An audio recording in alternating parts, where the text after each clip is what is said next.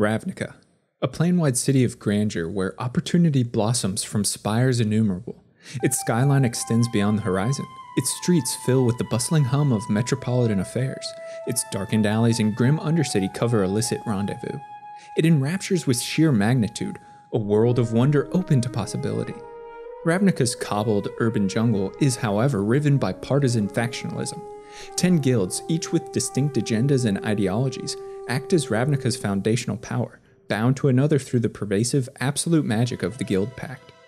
They feud endlessly with another, clashing for primacy over Ravnica's crowded districts. Millennia have shaped them into unique organizations peopled with myriad races, creatures, and cultures, all united in purpose by civic duty. Theirs is a history convoluted by intrigue, subterfuge, war, and propaganda as each struggles to wrest control of this vibrant city. Hey lore lovers, my name's Eric with the Lorebrarians YouTube channel, and welcome to the final part of our three-part series explaining the plane of Ravnica. If you haven't already, be sure to check out parts 1 and 2, detailing the plane itself and the 5 allied colored guilds, links in the description. In this video, we'll round out our discussion with the remaining 5 enemy colored guilds, the Golgari Swarm, the Orzhov Syndicate, the Boros Legion, Izzet League, and Simic Combine. But before we begin, I want to give a huge shout out to my patrons over on Patreon. Their support is greatly appreciated and helps the channel continue to improve. Alright, let's dive in. Spiraling stairwells, narrowing alleyways, and sluicing streams lead to the darkened realm of Ravnica's Undercity, where danger lurks, death is pervasive, and the sun's warmth extinguished. This mirrored realm of the world above is a grim labyrinth where ruins hold ossified remains and where the city's rot is meticulously gathered and cultivated to foster new growth within putrid farms. Creatures unknown skitter in shadows. Moans of raised dead pierce the echoing quiet. A great multitude of the grisly dominates as the realm of the Golgari swarm. The Golgari is Ravnica's green and black aligned guild, whose civic charge is the management of waste and production of readily available foodstuffs to fill billions of stomachs. They're an inexorable mass of writhing flesh, replete with such dark abominations as plant zombies, undead liches, rot shamans, and petrifying gorgons who propagate life's continual spinning. Like the great serpent Time, whose mouth consumes its own tail, the Golgari revere both life and death as two ends of nature's continual cycle. Death nourishes new growth, and the expiration of old life increases death's stores. The Golgari believe that life is strengthened from death, and that death is no end but rather a means of reclamation, thus starting the cycle anew as seen in the illustration of Golgari germination, the flavor text of which states, The Golgari don't bury their dead, they plant them. Golgari propagation of life from death and accumulation of dead material is manifest in the swarm's green and black color identity. Surging green ley lines bolster the nourishing magic of Golgari shamans and rot farmers. It's the color of life, of growth and natural abundance that enriches the guild. We see it used to stimulate fungal bloom in the illustration of Glowspore Shaman. Corrosive black mana fuels death's inevitable reach. It allows necromancers, liches, and swarm reclaimers to raise the dead, to transform stinking nutrient-rich detritus into brilliant, explosive life, their grim work highlighted in the card Grisly Salvage. The two colors are intertwined beautifully in the guild's mechanics. Dredge is viewed as the tilling of crops fertilized by death to reclaim what has previously expired. Matter beyond reanimation or reclamation is scavenged to invigorate extant life, seen in distribution of 1 1 counters. The undergrowth mechanic highlights the swarm's exploitation of Ravnican graves and rubbish heaps. When balanced, green and black create a natural cycle where death is necessary for life to flourish, and where dwindling life force is recycled, reinvigorated in death's gentle palm. When taken to extremes, however, these colors violently leech life from others, expand their innumerable masses in a flood of death that inundates all. There's reason the Golgari claim the moniker of Swarm. This guild is more numerous than any other due in large part to its unbridled germination and efficient recycling that ensures even deceased members are reborn in life's endless cycle. This sentiment is illustrated in the card Bloodbond March, the text of which reads, the Golgari support a vast army because death never ends its soldiers' service. They roam the Undercity millions strong and establish outposts of trade and diplomacy within the Upper City's sunbathed streets. With such a seething mass, structure in the Golgari requires further division into stratified castes and clans, each with ambition and unique purpose. an ancient race of long dead elves from Ravnica's past, known as the Erstwhile, once slumbered in elaborately ornate mausoleums. Coffins fitted with ostentation that mirrored their belief in superiority. The Erstwhile have been revived, called from their eternal slumber as zombies, bound to the will of the Golgari, which we hear in the flavor text of Awaken the Erstwhile. In preparation for the conflict all foresaw, the Golgari called upon an army that had slept for millennia beneath the city. They possess a nimbleness and intelligence that both sets them apart from traditional undead and exemplifies the power they once commanded, displayed in cards like Attendant of Vraska and Erstwhile Trooper. The aggressive, insectoid species of Kraul skitter along arched alleyways and lurk in the darkness, alert to prey movements. As the flavor text of Kraul Raider and Warrior imply, the Kraul are an ancient race that for most of its history operated on the periphery of the Golgari swarm. Only recently have they been adopted and valued by the guild for their ferocity, cunning, and knowledge of the Undercity. They have a semi religious culture of death worship that follows the preachings of their leader, Mazirek, the Death Priest. A secretive race of extant elves known as the Devkarin steer swarm ambition. They seek conflict, they push for swarm growth and expansion through devious means. Their soldiers are practiced in many martial arts, and their mages wield death magic with finesse, as seen in the art and flavor text of Rites of Reaping. The High Priestess Izoni Thousand Eyed speaks on behalf of the Devkarin to other swarm factions. For much of their history, the Golgari's ruling elite was a shambling conglomeration of live and undead non humanoid creatures known as the teratogens. Centaurs, creeping plant life, reanimated mutants, harpies, and such bloated detritus, so symbolic of the swarm, acted as majority. Their grotesque visage on display in cards like Molderhulk and Drooling Groodion, some teratogens, such as the dreaded Gorgon with its petrifying gaze, still command respect both within and without the guild. The seething mass of Golgari's innumerable street swarm form the labor class that scavenge for corpses in haunted yards, till and nurture stinking heaps of rot farm filth, perform shamanic rituals to invigorate bottom feeding fungi, and spread the welcoming word for all Ravnicans to join the swarm. The members of this faction strike upward from the Undercity to bring Golgari ideas and force into daylight. We see this in the illustration of Golgari Brownscale and hear it in the flavor text of Drudge Beetle. The Street Swarm is the labor class that drives the Golgari's endless cycle of life and death. The Guild claim large swaths of territory both on Ravnica's bustling surface streets and in the abysmal Undercity maze. On the surface, Zanikev stands as the largest waste reclamation zone where life rises from death in the Great Rot Farm. Unfortunately, its only mention comes in Zanikev Locust, but we can imagine its appearance similar to Golgari Rot Farm. An abyssal sinkhole within 10th District, known as Deadbridge, functions as an unofficial dumping site for Ravnica's dead. Thousands of corpses are unceremoniously cast into the chasm. From its depths, Golgari reclaimers and necromancers recycle or reanimate undead flesh, illustrated in the Deadbridge Shaman. Svogthos, the restless tomb, once stood as the great heart of the swarm within labyrinthine undercity reaches, named after the guild's founding parent Svogthir. This overgrown, semi living cathedral structure operated as guild hall, where all great decisions were made. With Svogthir's death and ascendancy of the elf lich Jarad as guild leader, the hub of activity shifted from Svogthos to the twisting maze of root choked sewers and streets known as Korozda. Its avenues are unwaveringly patrolled by all manner of living and undead, such as the Korozda Gorgon and Underrealm Lich. Jarad himself was usurped by the Gorgon planeswalker Vraska during the events of War of the Spark, whose rage and ambition resulted in significant swarm aggressive expansion, but Korozda remains hive to the chittering swarm. The Golgari spread like a slow mold to consume all around, seeking to enjoin swarm with Ravnica, this has led to interactions with all other guilds, some beneficial and some detrimental. The Swarm respects both Simic and Selesnyan exploits to expand nature's claim to vast tracts of uninhabited city, and have even worked alongside Simic biomages to produce collaborative artificial creatures. They don't, however, share the Golgari's worship of death as a fundamental and necessary cycle of life. The swarm despises the blinding rays of light and flame cast by zealous Boros mages and often conflicts with the Legion as they spread to an increasing number of neighborhoods above their Undercity realm. They abhor the artifice and wizardry of the Izzet League, crazed scientists who have lost touch with the stunning beauty and simplicity found in nature. The swarm is a peculiar mix of growth and decay, most strikingly apparent in the flavor text of their signet.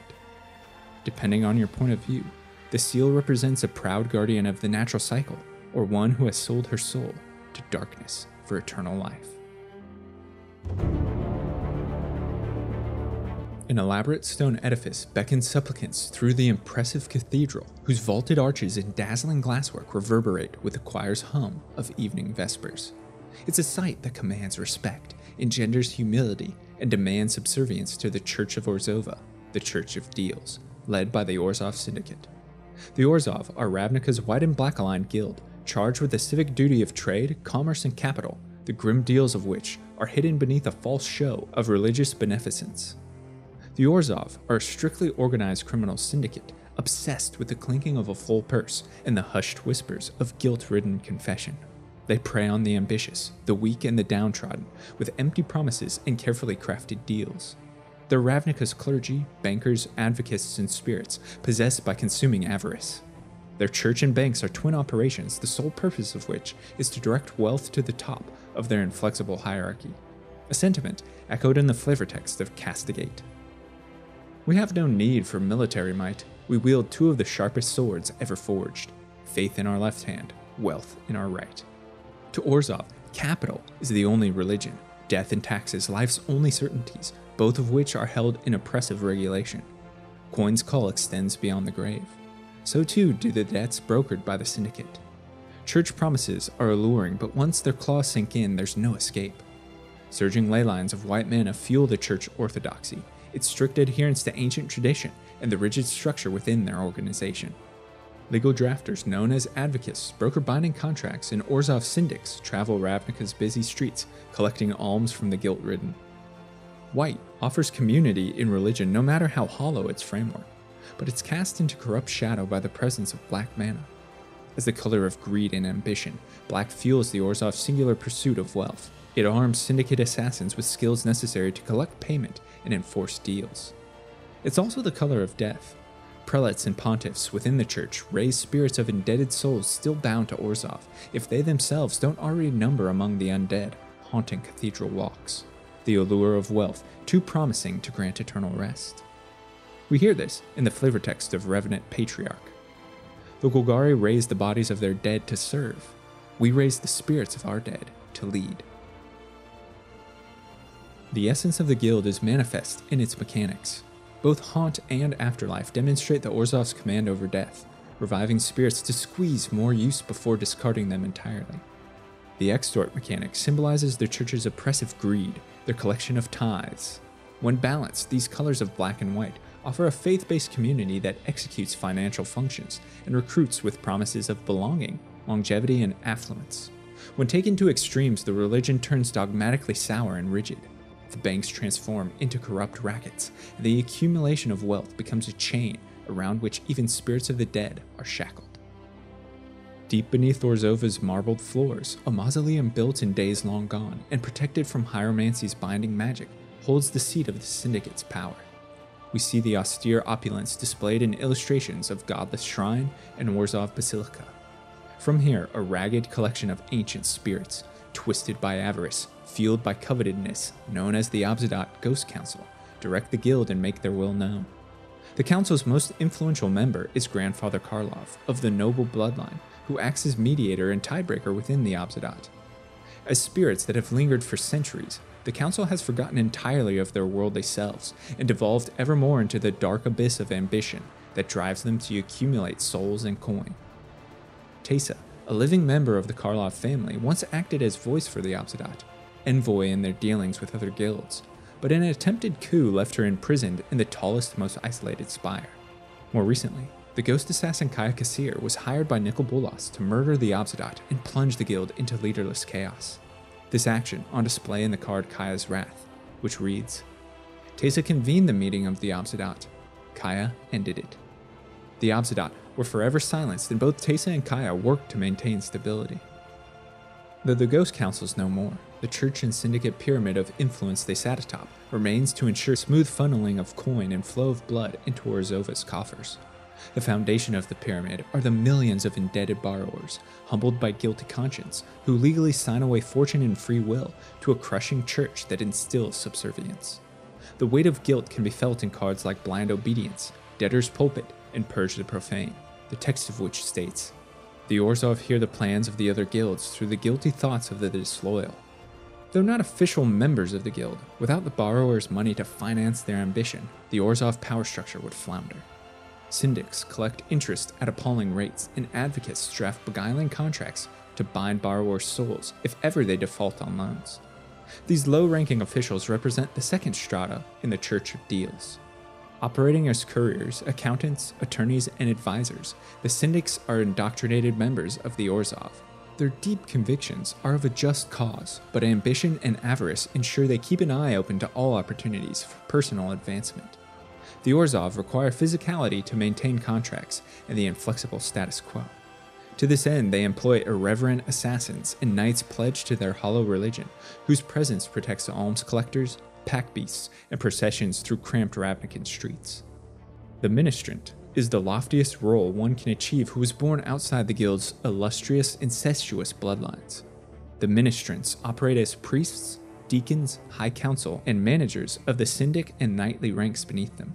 They preach lies of salvation through the church while demanding idolist servitude of those under their heel. Above the ministrants are the overseeing pontiffs that enact the Obzedat's will and occasionally speak directly with the Ghost Council. To reach such a position requires lifetimes of sacrifice to the guild, and as such, many pontiffs are undead skeletons or phantasmal spirits. The ancient families whose ancestors first founded the church comprise the imperious and infinitely wealthy oligarchs. These self righteous clans often rest on their inheritance and do little of value. Some, however, bestow their patronage upon the arts and commission grand projects worthy of their ostentation. Few living oligarchs remain, addled by birth defects and curses consequent of familial inbreeding. Of the races and creatures within the church, humans are the most prolific. Their easily exploitable desire draws them in, their ambition fuels them to reach all echelons of the pyramid. They can be found in bank antechambers, in church pews, and in law offices, employed in every capacity, from syndic to knight to devious assassin. Decadence attracts Ravnica's vampires to the church. They embrace the ideals of wealth, of longevity and opulence found in the guild, as seen in the domineering blood baron of Vizkopa. Many were once human, denied great station in life or the opportunity to be spiritually reborn, so resorted to find undead immortality along a different path willfully undergoing the transformation into an unslakable vampire. Hedonism is unleashed in their functions as tithe collectors and pontiffs, preferring payment in blood, as is the case with tithe drinker and pitiless pontiff, the flavor text of which reads Pay in gold, pay in blood, pay with the servitude of your spirit kin, but pay you must. They inspire fear to cow the masses while drinking from crimson stained goblets. Orzhov spirits are plentiful in the halls of both church and bank.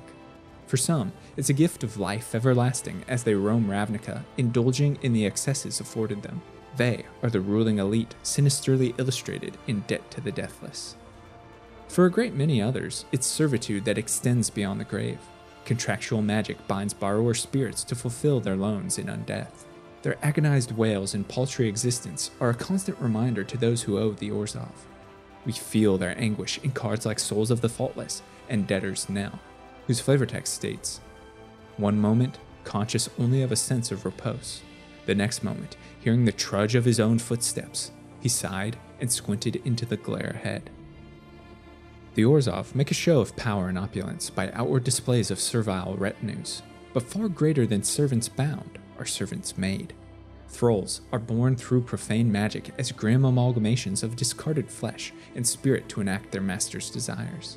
They are masked, emaciated, grotesque creatures who unerringly fulfill the Orzhov's will as they have been stripped of their own. Thralls vary in appearance based on task, from the sniveling, repulsive servant like the dutiful thrall to large beasts of burden like the treasury thrall. Angels act as a strange paradox unique to the Syndicate magical manifestations of mana and high ideals, angels are repulsed by the church's greed. Yet not even these divine beings are beyond corruption. Those who question their purpose, who desire the respect and power thus deserved, embrace black mana and find home in Orzhova. Orzhov angels are fickle, self serving, and possessed of a twisted justice that renders them merciless pontiffs and executioners bound only by their own shifting morality. This is heard in Angel of Despair, I feel in them a sense of duty and commitment, yet I can feel nothing else. It's as if their duty is to an empty void. As Ravnica's chief financial backers, the Orzhov enmesh themselves within the dealings of all other guilds and treat them as exploitable resources. They share a cause for structure and power with House Dimir and respect their death magic wielded by Golgari mages. The Azorius Senate, however, represent the Syndicate's greatest threat, as it attempts to impose its stringent law upon illicit guild activity. The Gruul clans in their anarchy are equally dangerous to the Church. Berserkers plunder banks and shatter stained glass.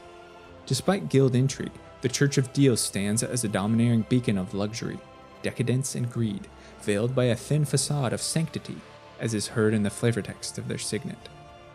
The form of the sigil is just as important as the sigil itself. If it's carried on a medallion, its bearer is a master. If it's tattooed on the body, its bearer is a slave.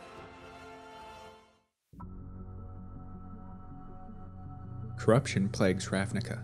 Lawlessness and injustice gnaw at the city's heart, prey upon the meek. Those who witness such atrocity and are stirred to action take up steel and raise the standard. They join the resplendent Boros Legion, Ravnica's red and white aligned guild, bringing righteous justice upon evil's agents. Thunderous legions of metal clad soldiers marching Ravnica's wide avenues in a sea of disciplined zeal marks Boros' passage. They were founded as Ravnica's military, combining the high ideals of a peaceful, safe society with the violent aggression necessary to achieve such grand vision. They are the conspicuous policing body. Their regiments make their influence felt throughout city blocks. Brave patrols of disciplined soldiers defend citizens from depredation, exploitation, and infiltration by other guilds. The Legion is a well oiled machine, a weapon of high justice, a symbol of hope. White mana ley lines contribute to the Boros vision of unity through peace. It empowers notions of equity and safety, while also laying the foundational brick atop which a structured society must be erected. We see this in cards like Light of the Legion and Bathe in Light, the flavor text of which reads Truth shines even in darkness. Those who march on the side of truth walk always in righteous light. But the Boros aren't merely idealistic philosophers. They're driven to action through Red Mana's explosive presence zeal, and an ardent conviction that their cause is just, arm legions of soldiers to meet Ravnica's enemies on the field of battle. Their fervor burns inextinguishable in the heart of every guild member, seen in cards like Legion Loyalist and Cleansing Beam. Boros' skill is manifest in the guild's mechanics. Radiance showcases both the Legion's faith and their shared strength, empowering all members on the field. Battalion highlights the Legion's overwhelming force, whose soldiers are bolstered by supporting guildmates. Mentor, meanwhile, demonstrates the discipline so characteristic of Boros, their rigid training and effective martial command. When combined, these colors of white and red create an iron grip covered in a velvet glove. They promote peace, community, and justice, while providing the aggressive teeth required to maintain such idyllic existence. When taken to extremes, these colors are intolerant to nonconformists, overzealous in spreading fanatical philosophy, and blind to gratuitous bloodletting in justice's name, heard in the flavor text of Incite Hysteria. The Boros say they want to bring order to Ravnica. Funny then, how well they use chaos. Boros' dedication to martial discipline is evident in the guild's foundational structure. Long ago, the Legion was divided into theaters of war to best address conflict, but has since reorganized into a system of semi autonomous garrisons to quicken threat response and mitigate enemy infiltration, seen in the illustration of Boros Garrison.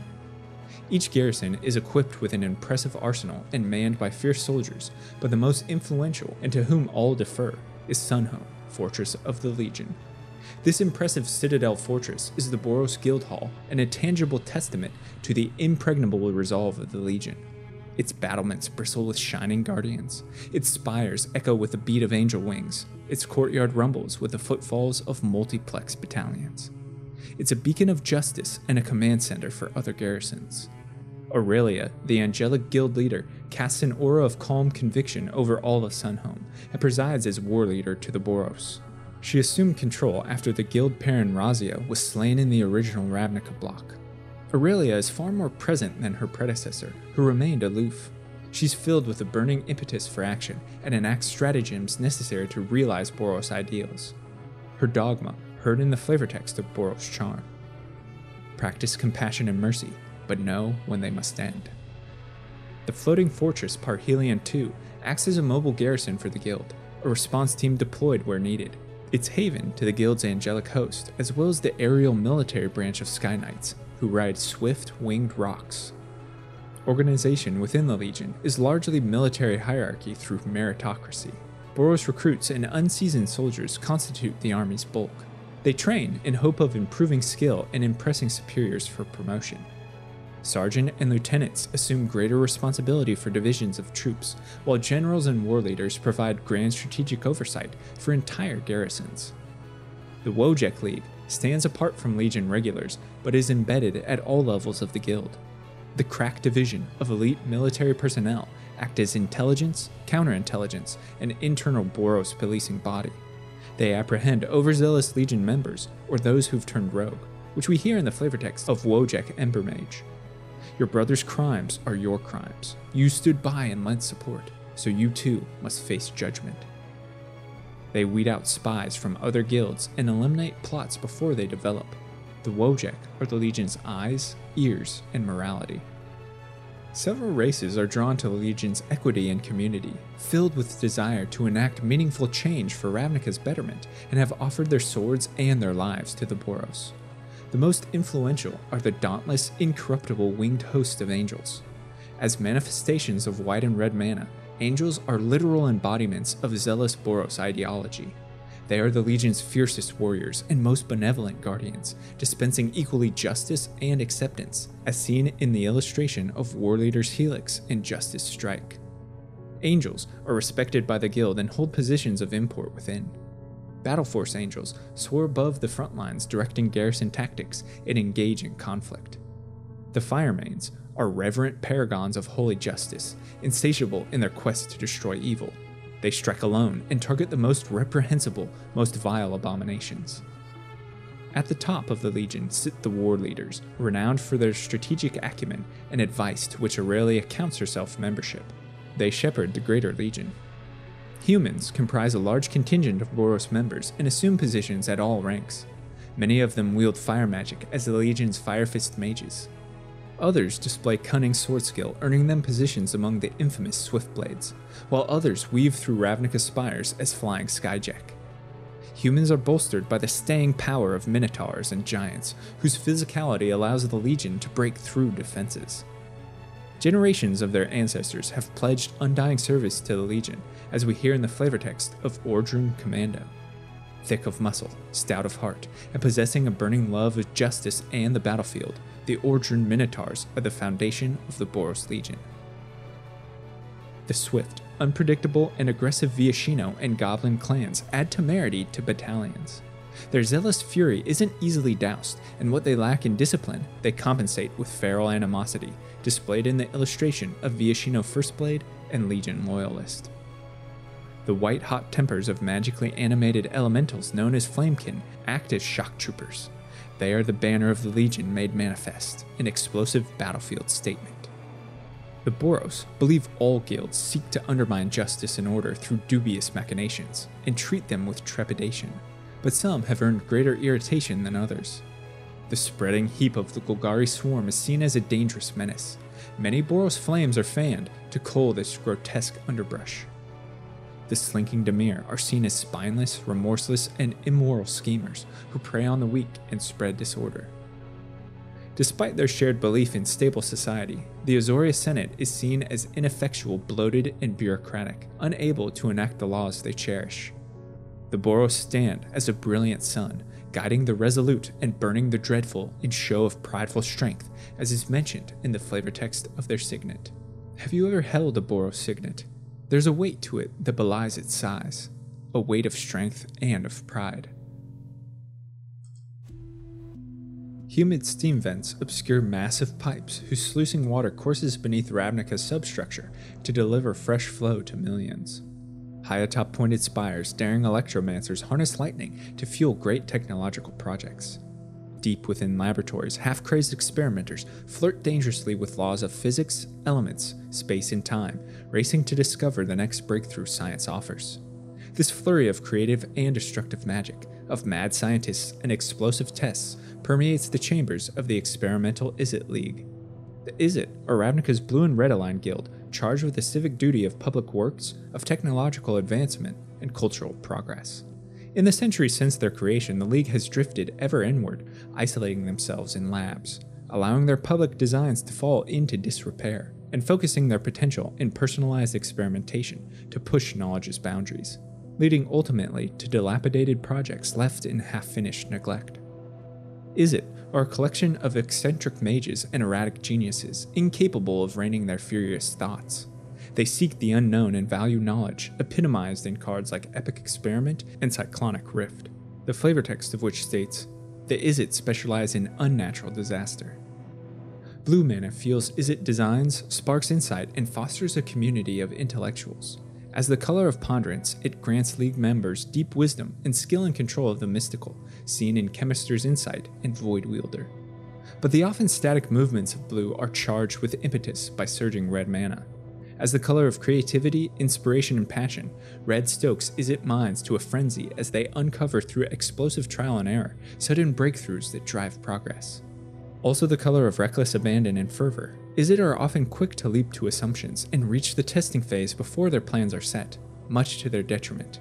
This is given to us in the flavor text of Cerebral Vortex. Izzet brains and Izzet boilers, contents under pressure.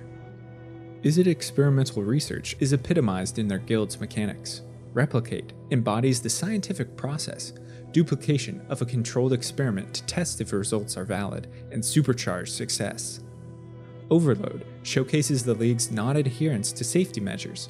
Bigger is better and far more destructive. While Jumpstart invigorates a discarded idea with new life as the muse once again is jolted into fevered activity. When balanced, these colors necessarily push what is accepted and known to uncover novelty, discover new methods, and unlock new achievements, inspiring creative efforts to better Ravnica. When taken to extremes, the envelope thus pushed is instead burnt to the ground in brazen, deleterious experiments, the outcome of which is often explosive. It's unable to control creativity, its mystical chaos unbound. The ancient, enigmatic, volatile dragon Niv Mizzet founded the Izzet League as parun and has led it ever since.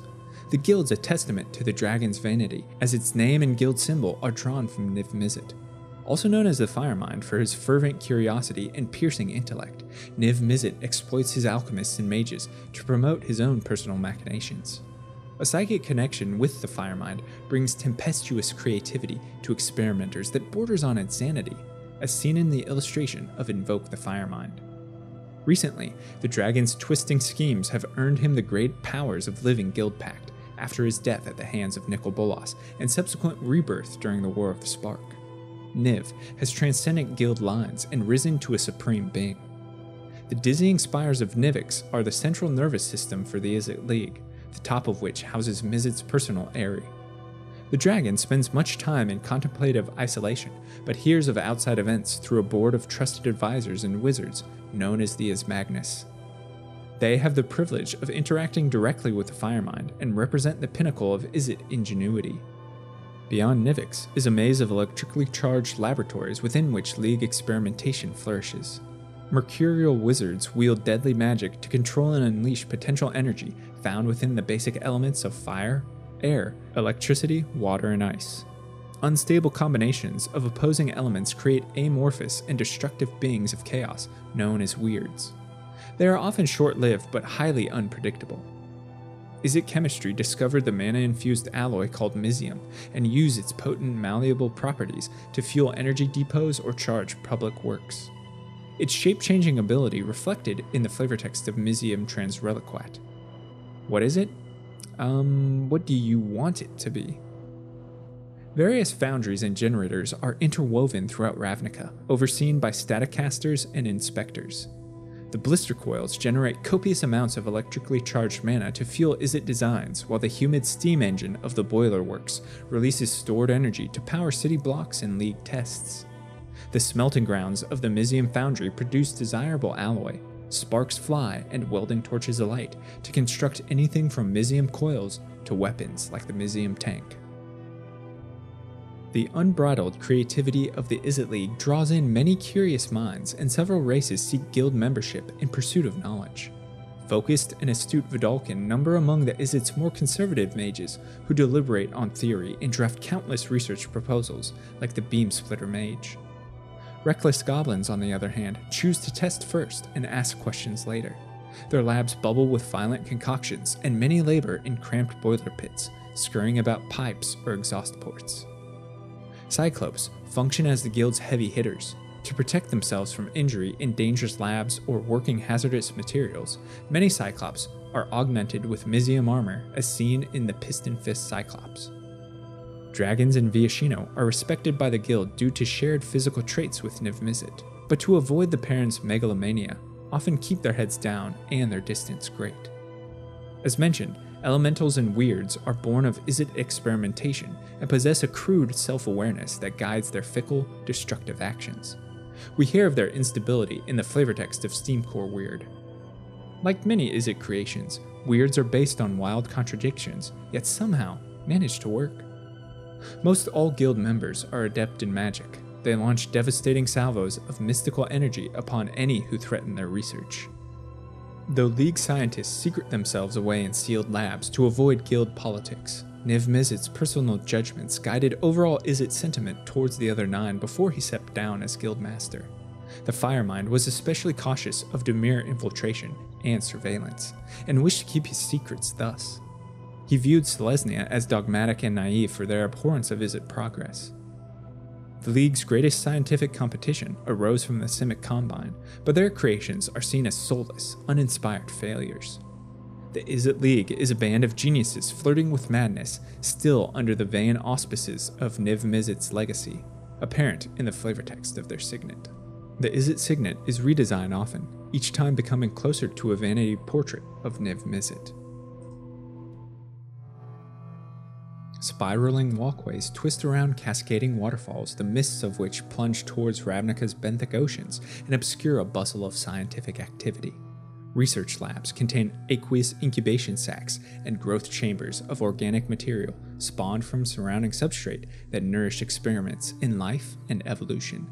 A panoply of nature, documented and controlled, opens up within algae choked breeding pools and enormous submerged sinkholes. This is the domain of the Simic Combine, Ravnica's blue and green aligned guild. The Combine is a gathering of the plane's most inquisitive minds, terrestrial and aquatic, bound by an obsession not just to understand nature, but to dominate it, to strategically guide its evolution towards utopian perfection. They believe verdure and intellect are entwined, supportive rather than conflicting forces, Initially charged with preservation of Ravnica's wilds, as the metropolis grew to crush nature, Simic realized an active role in promulgating beneficial evolutionary qualities was required for its continued survival. Their forceful hand keeps urbanization at bay while fostering life adapted to a shifting world. The Simic ideal is perfectly described in the flavortext of Coiling Oracle snaking remnants of nature directed by a body of thought and progress. The oracles embody all that is Simic. Deep swells of blue mana from subterranean oceans guide the grand Simic vision.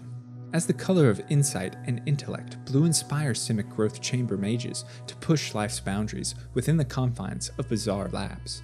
It drives evolution, supplies research and knowledge to the Combine, who manipulate variables to alter utopian visions displayed in benthic biomancer and cytoplast manipulator. From lush, hanging gardens and coral ecosystems, green mana courses through the guild. As the color of life, of growth in nature, green mana ideals are celebrated by the Combine. Their purpose is the defense of the organic through growth and green mana fuels Simic biomages and grafters to create magnificent and monstrous beasts through genetic experimentation, such as the Crocanura or adaptive Snapjaw. The flourishing of green and blue is manifest in the guild's mechanics, all of which include the incremental growth symbolized by 1 1 counters. Graft allows splicers and geneticists to shed layers of flesh from their creation and strengthen new amalgamations. Evolve, meanwhile, demonstrates Simic resolve and skill in emerging from harrowing situations stronger.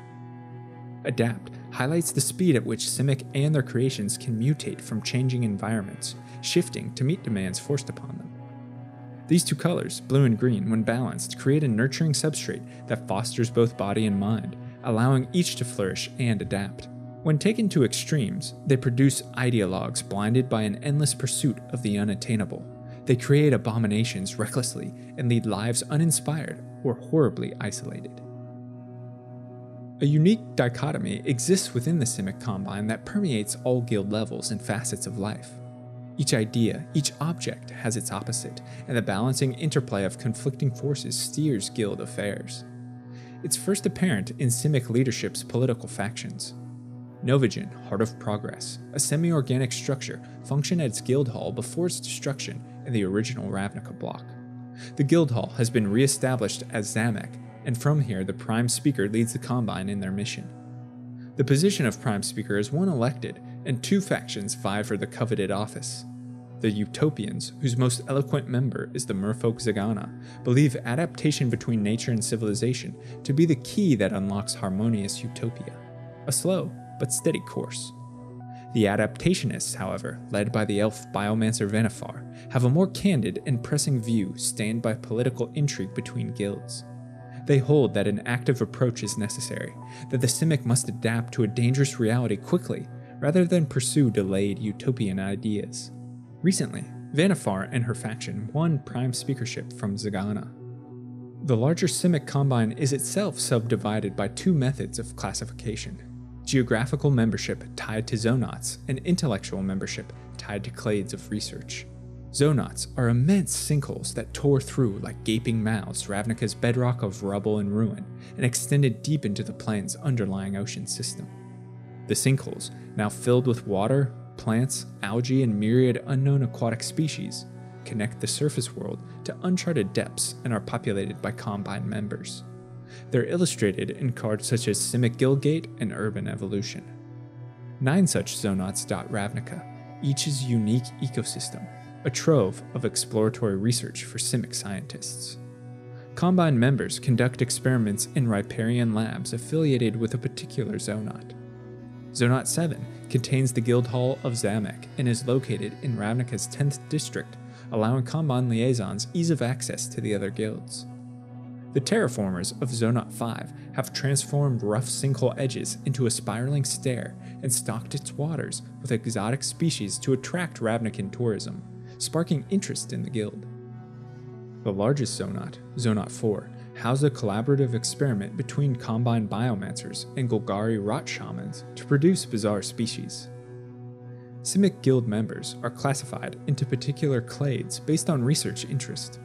The Gyre clade is interested in life and mana's cyclical pattern as mentioned in the flavor text of Growth Spiral. Cyclical and spiral patterns are the speciality of the Gyre clade, which seeks to revitalize the cycles of nature. They seek to redirect or nullify growth in magic. Their wizards and sages promote the Wilds initiative to reclaim large city streets for nature and often work in tandem with Selesnyan and Golgari efforts. The Hull Clade busies itself with guild defense and protection. Its biomancers create durable exoskeletons or devastating organic weapons, while genetic engineers meticulously craft dangerous creatures with impenetrable carapaces and raking claws. The Finclade study movements, the potential energy of systems, and its ecologists track migratory movements of winged beasts or benthic schools. The Simic philosophy and their connection to green and blue mana attract many of Ravnica's races to join their ranks. The calculating, utilitarian, and scrutinizing Vedalken enjoyed great success as biomancers and researchers among the Combine. Their blue aligned principles and ability to absorb oxygen through skin allows Vedalken ease of access to Simic zonots. The strong connection to life and growth possessed by elves grant them unique insight as tenders of chambers, genetic experimenters, and conservationists who ensure knowledge's reach doesn't extend too far into nature's rule. Humans who have undergone significant biomutation as artificial adaptation to an aquatic existence can be found at all levels of Simic society, sporting webbings, gills, and even wings, which we see in cards like Biovisionary and Bioshift. The long forgotten Ravnican merfolk have emerged from primordial waters to influence Combine efforts. Their advice is respected, and they are masters of the great subterranean oceans. More so than other guilds, the Simic make rather than recruit members. Bizarre amalgamations, strange experiments, and artificial breeds seen throughout the guild are collectively known as Krasis, Their nature heard in the flavor text of Drakewing Krasis. Cautious not to repeat Vig's mistakes, the Simic fuse life essences using magic alone. Each result is called a Krasis. These hybridized, non sapient life forms are born of magic and genetic design by Simic biomancers to develop novel life forms, which we see in Battering Krasis and Elusive Krasis. Some combine features of reptile and fish, other, bird and drake, and others an unrecognizable melting pot of ooze, slime, and organic detritus. They are inexhaustibly variable, from a small newt to an enormous flying leviathan. Many guild members are themselves experiments, born from hybridization or twisted by artificial adaptations. The Simic isolate themselves from most other guilds and remain in benthic labs, but as mentioned, they admire Selesnya and Golgari reverence towards nature, and occasionally collaborate with reclamation projects. But they are wary of Golgari encroachment into their zonots. Azorius regulations outlaw much Simic research, and Senate raids on Combine growth chambers has earned disdain. Simic view the destructive chaos of Rakdos as a danger to progress, an unpredictable powder keg of violence. Likewise, the Izzet pseudoscience produces only explosive disasters, unfit for true research. The Simic Combine's bioingenuity and meticulous scrutiny of nature with technology is apparent in the flavor text of their signet. For the Simic Combine, its sigil serves not as an emblem of honor, but as a trademark.